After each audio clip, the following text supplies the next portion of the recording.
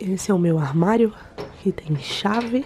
E esse também tem chave. Eu trouxe duas malas, né? Vocês viram, eu tô com a mala rosa grande e essa pequenininha. Só que o que acontece? A minha mala rosa, um cara de louca, mas vocês vão relevar, tá bom? releva essa cara. A minha mala rosa tem muito mais roupa e tem sapato, é a única que tem sapato. Só que se eu abrir ela, eu tenho medo de não conseguir fechar, porque foi um sufoco pra fechar essa mala. E aí eu tô vivendo esses primeiros 10 dias, que é o dia, o tempo que eu tô hospedada aqui no hostel, com o coturno. Então eu só tenho coturno para a vida e para a morte. E com essa mala aqui, que por sorte tinha cinco calças e algumas blusas. Só que a única que me aquece é essa roupinha, que eu só tenho uma, que é da Shein. E é maravilhoso esse conjunto. Inclusive vou ter que comprar mais de lá. E aí, meu amor, eu tô dormindo com esse, às vezes eu passo o dia todo com esse. O banho que faz frio você não sua, porque não tem como lavar, porque se eu lavar eu vou ficar com frio, entendeu? E dentro da outra mala tem mais roupa que me aquece. Mas eu só quero abrir aquela mala na minha casa, que tá difícil de encontrar. Porque Deus já preparou o lugar, eu só não tô conseguindo achar ainda. Mas vai dar certo.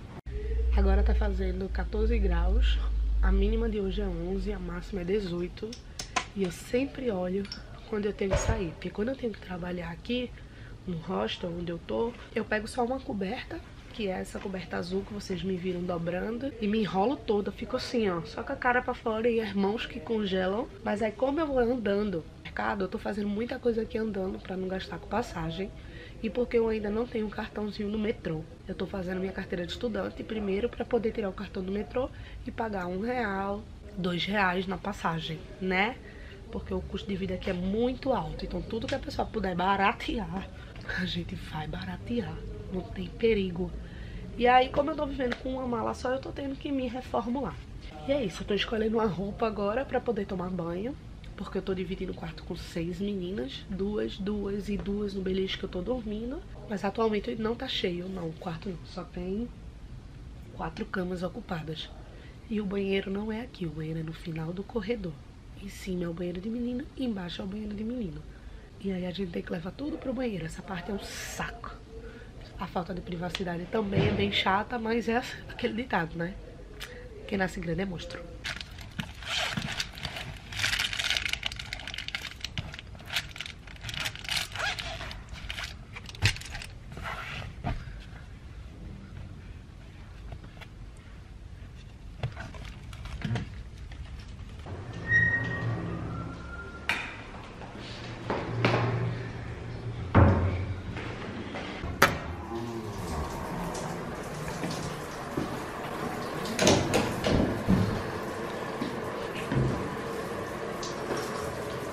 Banho tomado, penteado feito, porque o cabelo tá podre.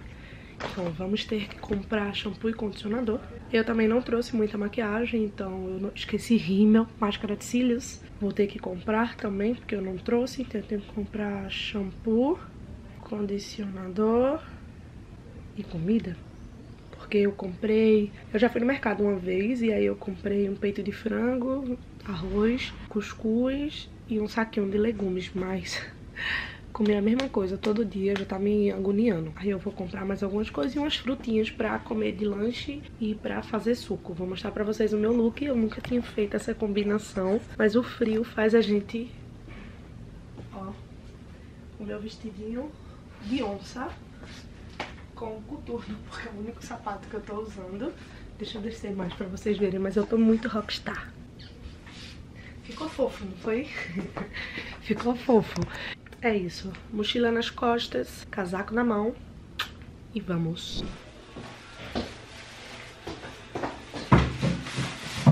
Cheguei das compras agora pra mais uma semana, que na verdade eu achei que o que eu tinha comprado daria pra uma semana, e até daria. Só que eu já tava enjoada de comer a mesma coisa, e a comida é um momento que a gente tem que ter prazer em fazer, não obrigação, só pra se nutrir. E aí eu fui no mercado hoje com uma colega daqui, e eu comprei muito, muito, muito mais coisas.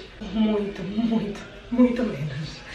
Nessas compras aqui eu gastei 75 reais e aí eu vou mostrar pra vocês o que eu comprei. Ó, eu comprei tudo isso, 75 reais. E sim, ainda é pouca coisa, né, pra 75 reais. Mas, considerando o preço que tá tudo e que aqui o custo de vida é muito mais alto, vamos lá.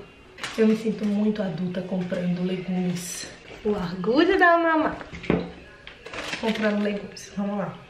Uma das coisas que eu mais gosto aqui é que a gente pode comprar as coisas já prontas. Por um exemplo, um mix de salada já pronto e é barato. Esses macarrãozinho, que é ravioli, né?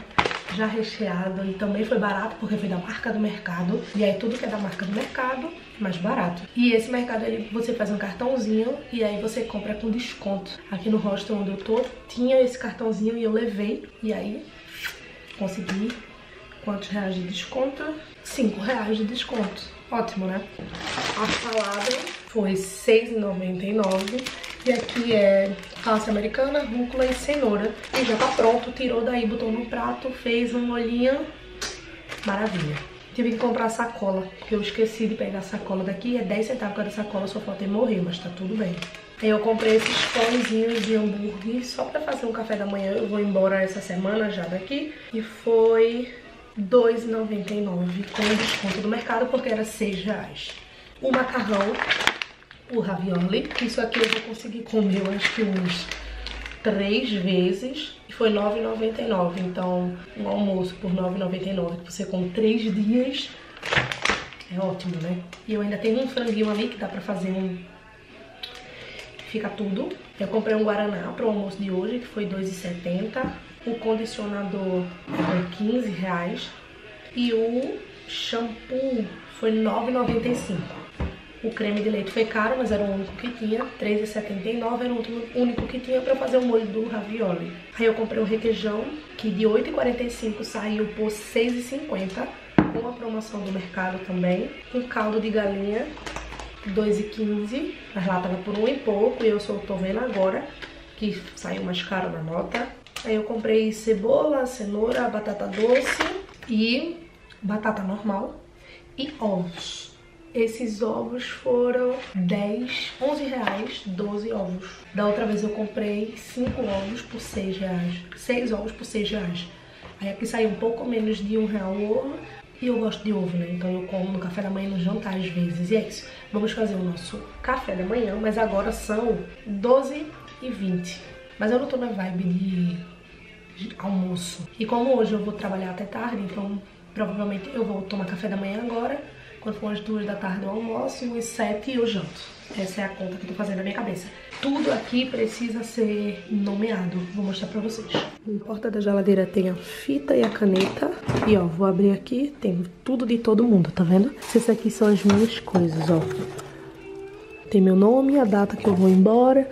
No meu suco ali também tem o nome a data que eu vou embora. Isso aqui foi um arroz que eu fiz e sobrou. E aí eu guardei. Então eu vou tirar isso aqui, que eu vou fazer agora. Tudo aqui devidamente etiquetado. Agora eu vou pegar um pão pra tomar café da manhã. Aqui também, ó. Etiquetado. Esse ovo só tem um, então eu vou jogar fora já. E aqui eu vou subir lá pro quarto. Então eu não preciso botar nome porque vai ficar nas minhas coisas. Vamos fazer um cafezinho da manhã.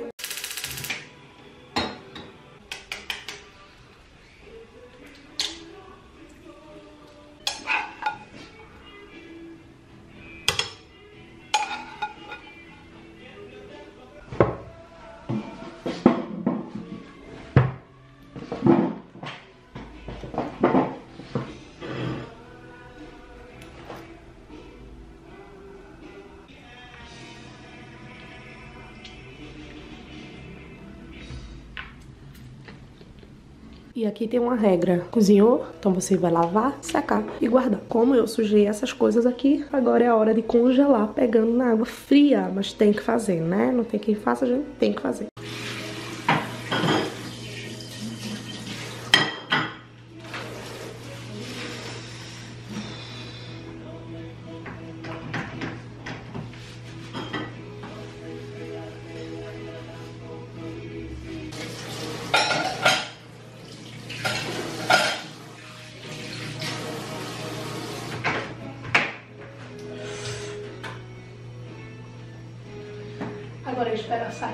Pouquinho dessa água, senão eu vou encharcar o pano, só tem esse, pra eu poder enxugar. Enquanto isso eu vou lá no meu quarto pegar o meu computador e o meu livro, porque hoje tem o primeiro trabalho do curso. Piu, piu, piu.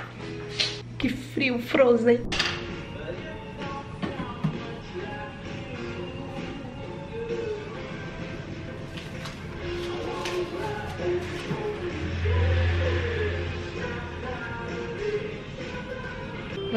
2h18, eu terminei de fazer o que eu tinha que fazer do trabalho e agora eu vou fazer o que eu tenho que fazer do curso, que no caso é ler um livro. O primeiro trabalho do curso foi ler um livro e fazer um moodboard, fazer uma série de coisas.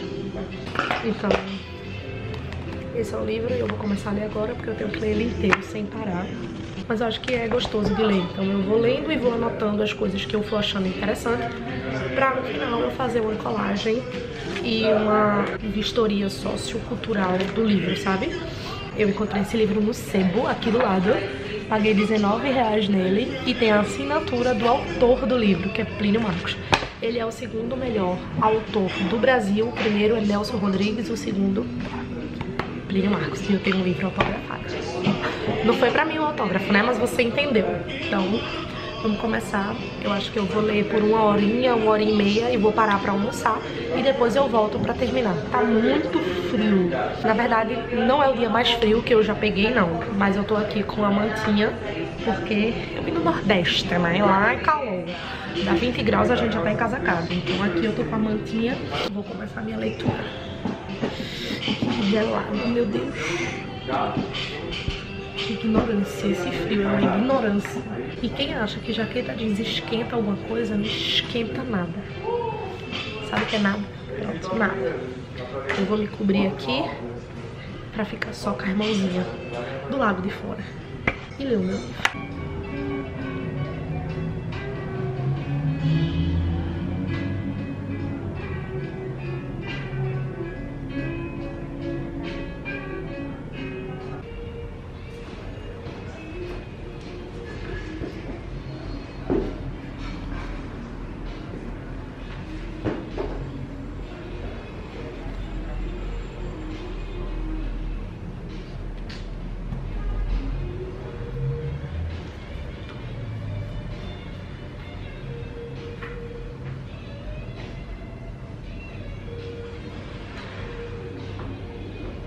Não mostrei pra vocês fazendo a comida, porque foi muito rápido e são 4h40 da tarde. É quase um jantar, né? Eu posso comer em qualquer lugar aqui, né? Mas eu vim comer aqui dentro porque tá mais quentinho. E aqui é ravioli recheado, ravioli aos quatro queijos. E aí eu fiz um molho branco e um queijinho por cima também.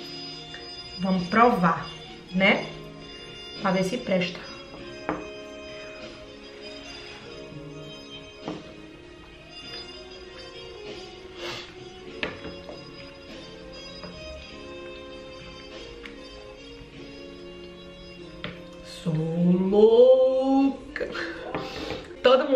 Hostel saiu, todos juntos. Me chamaram pra sair. Mas eu não fui porque eu tô fazendo o trabalho do curso. Então a minha prioridade é estudar. E eu vim pra cá pra isso. Então eu não fui por conta disso. Já li um terço do livro. Falta ler dois terços, fazer uma análise sociocultural e fazer uma colagem. Pra eu poder ficar livre no domingo. Deixa eu mostrar pra vocês o recheio. Não é, nossa, que recheado, é a coisa mais recheada que eu já vi na minha vida, mas gente, 9,90, né? Então assim, ó, não dá nem pra ver que judiação. Tá vendo? O recheio. O branco é o molho que eu fiz, né? É gostosinho. Aí, ó, botei num, numa cumbuca e vou ver um episódio enquanto eu como, porque tem que ser gostoso, não almoço. Olha a hora que eu terminei o livro, graças a Deus terminei. Foram 125 páginas. Agora eu vou fazer o moodboard, né? Análise sociocultural. Pra assistir uma série e dormir, né? Porque não vai dar tempo de fazer nada mais. Desassociado de qualquer partida.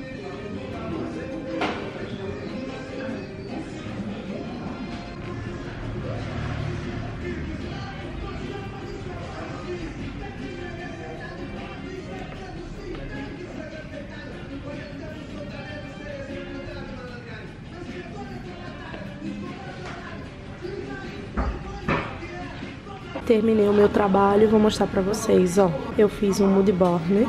ligando as coisas que aconteceram na época que ele escreveu o livro e as críticas com o que acontece hoje em dia. E aí o personagem principal é Catimbó e eu enxergo muito ele em Seu Jorge, então eu coloquei ali. E o amigo dele, que é Enrolão, eu enxergo muito em Agostinho Carrara. Então eu coloquei aqui algumas imagens que representam tudo que ele queria falar né, no, no livro e que ainda hoje em dia acontecem. Então tá meu moodboard pronto e minha tese na cabeça. São nove horas da noite. Mas eu terminei, isso que importa, né? Trabalho, missão dada, missão cumprida. Terminei. Eu só preciso finalizar alguns, algumas coisas ainda aqui agora pra eu poder tomar banho, provavelmente comer alguma coisa e cama. Mas eu tô orgulhosa de ter conseguido esse primeiro trabalho. Tem outro pra fazer, segunda-feira, amanhã no caso. E eu tô feliz de ter concluído. E ao mesmo tempo eu tô muito pensativa, porque foram assuntos muito importantes tratados nesse livro, sabe? De prostituição infantil, de violência contra a mulher, de desigualdade social, de políticos corruptos. Então foram muitos assuntos que permeiam a nossa sociedade e passa a época, menos época, mais época, os assuntos são os mesmos. É duro a gente ver que décadas atrás as pessoas já reclamavam disso e hoje a gente ainda reclama disso. E quando eu paro pra pensar, os meus filhos, eles vão reclamar disso também. Eu pilhei aqui, pilhei, pilhei total.